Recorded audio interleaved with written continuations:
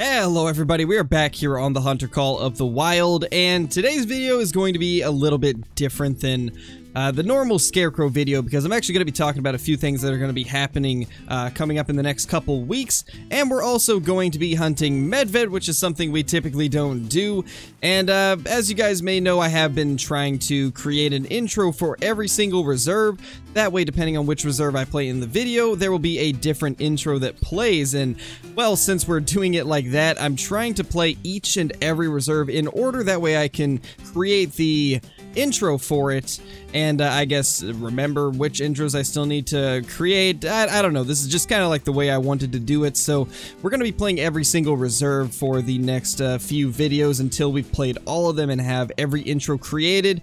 Uh, but the other thing that we're going to talk about today is the fact that um, my wife and I just finally got into a brand new place. So we're going to be moving very shortly.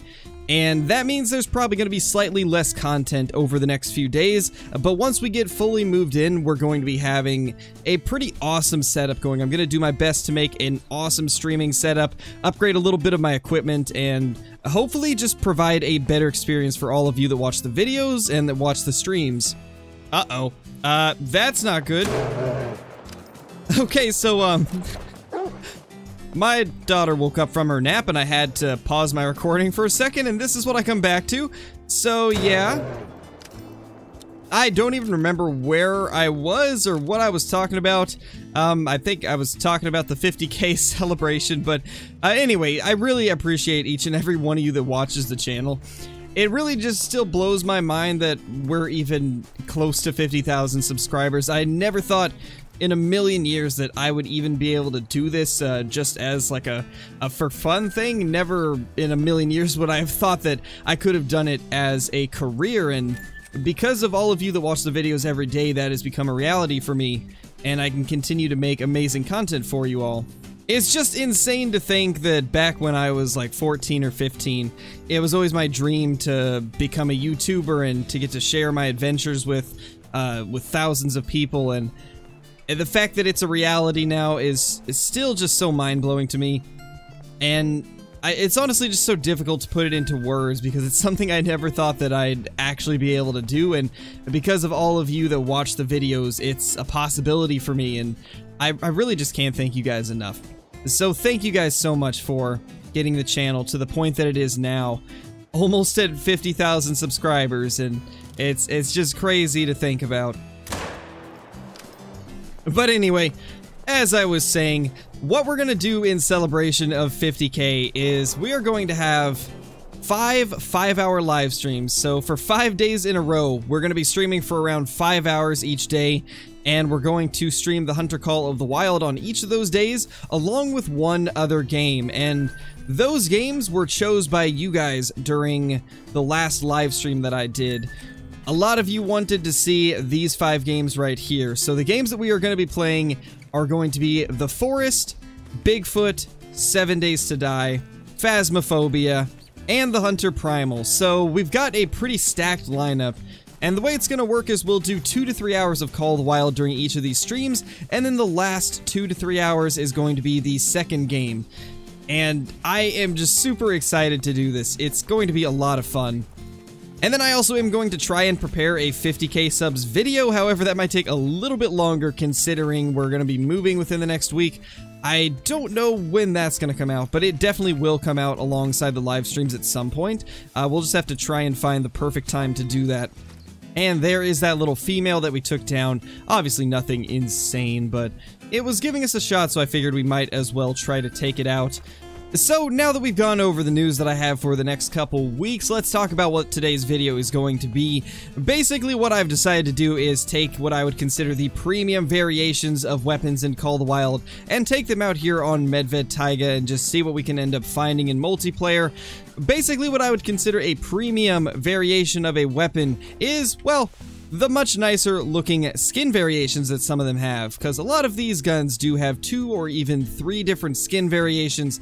This one right here is what I would consider the premium version of the 454, just like right here we have the premium Rayo variation of the 6.5. We've got the Empress for the 7 mil, which is considered the premium variation of that, and I'm basing this off of what they would be considered in the Hunter Classic. In the Hunter Classic, all of these would be considered the premium weapon skins because they are a much nicer version of another gun that's in the game. Now, the hope is that we can actually take some cool trophies with these rifles and, well, handgun and shotgun too, since we have those with us as well. And I figured, why not do it on Medved since we're trying to hunt on every reserve. That way I can get my intros done and all these brand new intros shown to all of you guys. I figure this would be the perfect way to do it. And I figure since Medved's one of my least favorite maps, we might as well get it out of the way early. So let's see if we can find any crazy trophies today. And yeah, we'll just put all these weapons to work. And also, I apologize if this video doesn't seem quite as well done or if it seems a little bit rushed because, well, to be honest, it is very rushed considering I don't have uh, as many days to pack as I thought I would, so we're going to be pretty busy packing over the next few days, and I've got to get these videos ready for you guys so there'll be some content during the time that I am doing all the packing. So right in front of us we have a pretty decent looking uh, reindeer. This one is a nice level 4 with a 355 lower estimate. This is probably going to be one of the better reindeer we take today since they tend to uh, have some issues with not scoring super high. Let's go ahead and get a shot into it. And then we can see what this uh, musk deer is as well. It is just a female, so we'll let that one live. But then we've also got ourselves a few other animals around here too, but I don't think any of them are really worth taking out. And now if I were to pick one thing that I would love to find here on Medved today, I think it would honestly have to be a rare musk deer. That's something I don't have. I don't have a diamond one either, so if we could find something along the lines of that, that would just be amazing. I wouldn't be too upset with finding any other diamonds or rares here on Medved either, because in general I don't hunt this map too often, so there is some trophies that I'm missing from pretty much every species. So after a little bit of time spent searching, we do have our reindeer right here, and we can finally get a look at what this thing is going to score. I'm going to assume it's on the lower end of that estimate, and it is at 358.40, but that's a very good looking reindeer absolutely love the way some of the larger reindeer look, although I do wish they were a little bit bigger overall. I do think the reindeer and the caribou probably have some of the most, I guess, inaccurate true racks. Their size just does not compare to the real life ones, which is a little bit unfortunate, but once you get into that high level 4 and level 5 range, they do start to look pretty good. Well, this musk deer may not be anything too special because it is just a female, but I really can't pass up the opportunity to just blast this thing with buckshot, as that's something I've never done, and I'm really curious how it will do, so let's just go ahead and run up to this thing as close as we can get, and then go ahead and drop some buckshot into it. That is killing way slower than I would have expected. Oh man, did that even get vitals? I don't think it did. That is sad, actually. Wow, that's really sad. So from 22 meters, Buckshot could not get vitals. Oh no. That's, uh... Yeah, it sucks. That's, uh, not good. You know, if I were to pick the next three maps for them to completely overhaul and redistribute the populations of and change the need zone times, I would have to say Medved has to be the number one, followed by Hirschfelden and Te Awaroa. I feel like those maps are the ones that need the most work when it comes to population distribution and also the need zone times. Now, Te Awaroa, I think the population distribution on that map is actually pretty good. However, the times need a little bit of work. There's a very long period of day where absolutely nothing is drinking, and I feel like it needs to be a little bit more balanced because there's so many times on Te Awaroa where I join a server in multiplayer and it's just at one of those times where there's absolutely nothing going on, so your only option is to go into the very thick forests and hunt there, which that's obviously not everybody's favorite way to hunt. So I think what they could do is kind of even the times out a little bit. Currently on Te Awaroa, there is so many different species that drink at the exact same time virtually. You've got the Sika deer, you've got the fallow deer, you've got this boar that's deciding to attack us. There we go, we got it. Uh, but anyway, as I was saying, there's just so many species that drink at the same time, and I think if they just spread out the times that they drink, that would be good for that map. However, for Medved, I think one of the things that they would need to do the most is just kind of redistribute where the animals are located. Because there are some areas of the map that just seem pretty dead or only have females for some reason. So I'd like to see a bit of a redistribution here. And I would also like to see all of the need zone times switched around a little bit here on Medved because currently there's a lot of animals that either drink at night or barely have any daylight drink time at all. The brown bear and the musk deer drink from like 3 to 7.30 which is definitely not ideal if you don't enjoy nighttime hunting. You don't get the full drink time to hunt. And then for lynx, they're going to be getting their time removed soon apparently, so I think that does mean that Medved's probably going to be getting a rework soon. But with Lynx not having a drink time, I'm curious like how that's even going to work. How are they going to make Lynx hunting still fun without them having a drink time? I'm really curious to see what they do. So I, I guess we'll just have to see. It's going to be interesting. And then as far as Hirschfelden, I feel like Hirschfelden's biggest issue right now is the population distribution. There's so many areas where I would expect to see animals during certain times of day, but we just don't see them there. I really feel like animals should be feeding out in the fields a little bit more than they do. Now, we currently do have animals that feed out in the fields on Hirschfelden, but not quite to the extent that I would expect, and also not spread across the map as much as I would expect. It's more of just certain areas. But it would be really nice to see them have the ability to feed in all of the fields throughout the map and that would be the primary area that all of the animals would go to feed. I think that would just make a lot of sense to have the fields be the focus of the feed time for Hirschfelden, because right now it feels like there's only certain species that you find in the fields, and it's only in certain fields.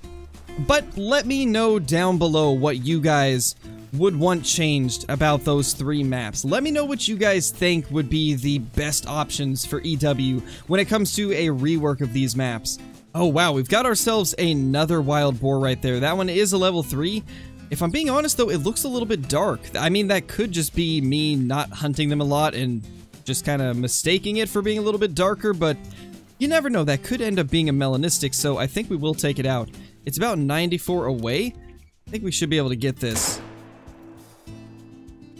That looked decent, but I guess it wasn't. So that is slightly unfortunate. But that second shot did look good, so I think we did manage to get into a lung. Okay, that's actually a really big moose track. Max weight estimate. Imagine if we got ourselves another giant moose after that one we got the other day, because that thing was by far one of the nicest moose I've ever come across, so if we could find another big one like that, that would be crazy. And as per usual, it does seem that I was wrong about the fur type, and it's just a normal wild boar. Little unfortunate, and it seems we managed to hit the skull, so it looks like it actually hit slightly higher than what I wanted it to, but I guess that's my fault for not zeroing down to 75. You know, it's very rare that I hunt this map at night, and to be honest, it's very rare that I hunt this map at all, but it's especially rare that I would hunt it at nighttime, and I gotta say, I'm actually kind of enjoying this, and it's making me want to do a nighttime wild boar hunt here on Medved Taiga, and try to get ourselves a diamond wild boar. Currently, I've only got one diamond boar, and then I've been trolled by one once as well, and I have two rares, but I still don't have the albino, so there's a lot of stuff that we could look for with wild boar. Let me know down in the comments if you guys would like to see me do a nighttime wild boar video here on Medved, because I do think that could be a lot of fun. Well guys, as there is no more Medved servers left, I think that's going to be the end of the video. I know this was a shorter video than normal most likely, and it didn't have as much hunting as normal, but I really wanted to just get out as much of the info as I could about what's going to be happening to the channel and uh, in my own life these next couple weeks, and just to kind of give you guys the heads up. So I hope you guys can forgive me for a little bit of a, uh, I guess, lackluster video compared to normal. We will get back onto the regular videos and streams once I get finished with moving. Everything should be back to normal. So I appreciate everybody that's here. Once again, thank you guys so much for getting us to this point in the channel. The fact that we're almost at 50k subs is crazy, and I never would have expected to ever be here in a million years, and let alone being able to do this as a job and being able to fulfill my dreams from ever since I was a kid. I, I just can't even thank you guys enough, and I've said it so many times, but thank you guys so much. Thank you guys so much for being here, for watching the channel, for being a part of this journey and sharing all of our adventures. It really does mean the world to me, and without you guys, none of this would be possible, so thank you all so much, and I will see you all in the next one. Peace!